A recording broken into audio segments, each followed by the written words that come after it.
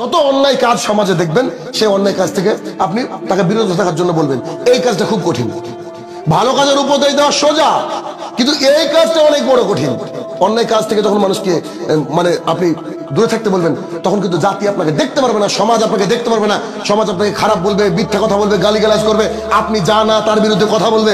এই জন্য লুকমান হেকিম এই বাক্যে শেষে এসে বলছে, অসবির আলামা সাবাক, বেটা, এখন ধৈর্য ধারণ করতে হবে। এখন ধৈর্য ধারণ করতে হবে।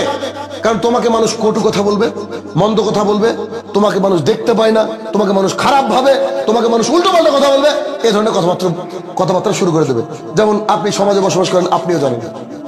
আপনার ছেলে বিড়ি খায়, জর্দা খায়, ও আপনার হেরোইন খেয়ে ঘুরে বেড়ায়, সমাজের একটা লোকে কিছু বলবে না। তখন কোনো চাচাও নাই, খালুও নাই, মামাও নাই, কেউ কিছু বলবে না বলবে না, আপনাকে টাকা দিবে, খা। ওর ছেলেটাকে নষ্ট হলে আমারই ভালো লাগে। এরকম মানুষের টেন্ডেন্সি তো ওই ছেলেটা যখন এই মসজিদে নামাজ পড়তে আসবে, তখন তাকে বাধা দেওয়া হয়, সমাজ থেকে চাপ দেওয়া হয়, পরিবেশ পরিস্থিতি থেকে চাপ দেওয়া হয় যে না, ওই মসজিদে যাওয়া যাবে না। কেন? এই মসজিদে এই জন্য আসা যাবে না।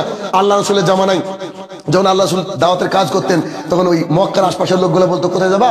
তো যে আবদুল্লাহ বেটা খবর যাও না, খুব বদমেশ মানুষ। আরও ভালো মানুষ না। ও হচ্ছে জাদুকার। ও কত কি উল্টো পাল্টা কথা বলে। কেন এই কথা বলে বলে? এই জন্য যে এখানে আসলে হকটা পেয়ে যাবে। ওই জামানায় যেন আমরা আমাদের আবার ফিরে এসেছে। এখানে একটা হকটা পেয়ে যাবে। এখানে এসে কেউ বলতে পারব না যে আমরা কোন ইমামের বিরুদ্ধে কোনোদিন কথা বলেছি।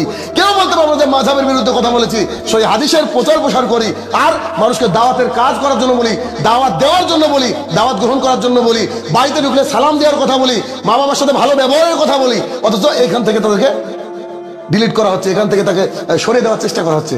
কারণ ওই যে বেশিরভাগ মানুষই থাকবে দুনিয়াতে অকর্মণ্য। বেশিরভাগ মানুষ ইমান আনার পরে হবে মুশরিক। আল্লাহ ওয়া তাআলা বলছে, তাহলে এখানে লুকমান হাকিমের উপদেশগুলো একটু খেয়াল করেন, আমি একবার আবার রিপিট করে শেষ করছি। লুকমান হাকিম ছেলেকে কি বললেন প্রথমে? যে, হে আমার কলিজার টুকরা, শির করো না, শির হচ্ছে সবচেয়ে বড় গুনাহ। অতএব কেউ যদি জবাই করে ফেলে, তবে শির করবেন না। কে বলে তাবিজে রোগ রোগ সারে? আপনি তাবিজ খুলে ফেলে দেন। তাবিজ খোলার পরেই আপনি আল্লাহর উপরে তাওয়াক্কুল করেন, আল্লাহ আপনাকে সাহায্য করবে, করবেই করবে ইনশাআল্লাহ। করবেই। একদম চ্যালেঞ্জ আপনাকে আমার। তারপরে দুই নম্বরে উপদেশ ছেলেকে দিলেন, বলছে, বেটা সলাত আদায় করো। ভালো কাজ মানুষকে বলো। অন্যায় কাজ থেকে মানুষকে বাধা দাও। আর এই তিনটে কাজ যদি তুমি করো সমাজে, তাহলে কি হবে? তোমার পৃথিবীর মানুষ, তোমার এরিয়ার মানুষ তোমাকে ভালো চোখে দেখবে না। তখন তিনি এসে বলছেন যে, অসবির আলামা সাবাক। বেটা, এই কাজ করা খুব কঠিন। এখন তুমি ধৈর্য ধারণ করো।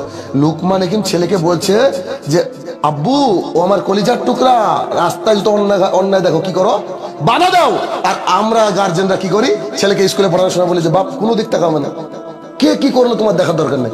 এই জন্য তো আজকে সমাজে এত অন্যায়। এই জন্য এত অন্যায়। আপনাকে যেখানে অন্যায় দেখতে হবে, আপনার ক্যাপাসিটির বাইরে হলে সেটা ভিন্ন কথা। অন্তত আপনাকে হাত দিয়ে বাধা দিতে হবে। না পারলে অন্তত মুখের মাধ্যমে আপনাকে বলতে হবে যে, এই অন্যায়টা কেন করেন এই অন্যায়টা কেন আপনি কি কারণে করছেন এই অন্যায়টা? এই কথা বলতে হবে। আর যদি নাও পারেন, তাহলে একবারে অন্তর দিয়ে ঘৃণা করতে হবে। এই কথা বলার পর আল্লাহ রসুল বলছে, এটা হচ্ছে তিন নম্বর শ্রেণির ইমান আপনি কি চান যে আপনার ইমানটা তিন নম্বর শ্রেণি হোক? কেউ কি চায় পৃথিবীতে? নিশ্চয়ই কেউ চায় না। তাহলে এই জন্য লুকমান হাকিম ছেলেকে বলল, বেটা অন্যায় কাজ থেকে মানুষকে যখন বাধা দিতে যাবা, কারণ বেশিরভাগ মানুষই অন্যায়ের সাথে লিপ্ত তুমি বাধা দিতে গেলে তোমাকে এবার পিঠের চামড়া তুলে দেবে জেল বন্দি করবে, অন- তোমার উপরে অকথ্য গালিগালাজ করবে, আজে বাজে কথা বলবে। ওই মুহূর্তে বলছে অসবির আলামা সাবাক, সবগুলোকে হজম করো বেটা, ধৈর্য ধারণ করো। কারণ ফল কি? আল্লাহ দেবে। একটা হাজি বলে শেষ করব।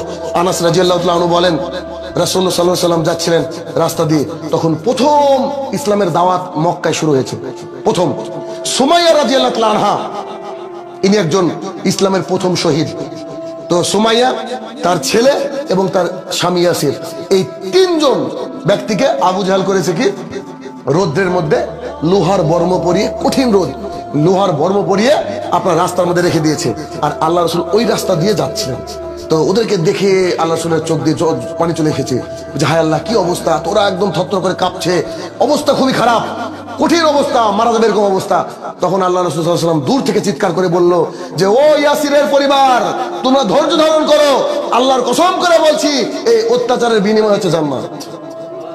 এই অত্যাচারের বিনিময় জান্নাত আল্লাহ ঘর তৈরি করেছে তোমাদের জন্য। সেই সময় আর রাজিয়াল্লাহ একটা মহিলা মানুষ, দেখেন আপনার আমার স্ত্রীর ইমানটা কি? একজন মহিলা মানুষ, আবু জাহাল হাতে এরকম বর্ষা নিয়েছে বর্ষা, তীর। তীর নিয়ে এসে বলছে তুই বল, তোর মাবুদ, আমার মাবুদ, সবারই মাবুদ হচ্ছে লাত, ওজ্জা, মানাত হবল এগুলো হচ্ছে পুজোর নাম এক একটা। যে এগুলা বল, আমাদের মাবুদ। তো ও বলছে, না, আমি বলব না। তুই আমার কি করবি?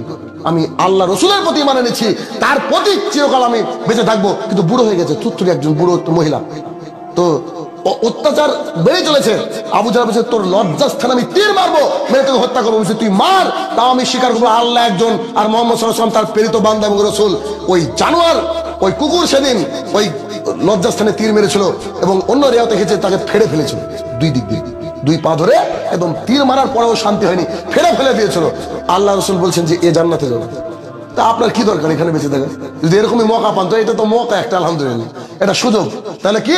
অন্যায় কাজে গোটা গ্রাম লিপ্ত থাকবে। আপনি যদি বলা দিতে যান, তাহলে আপনার উপরে চড়া হবে।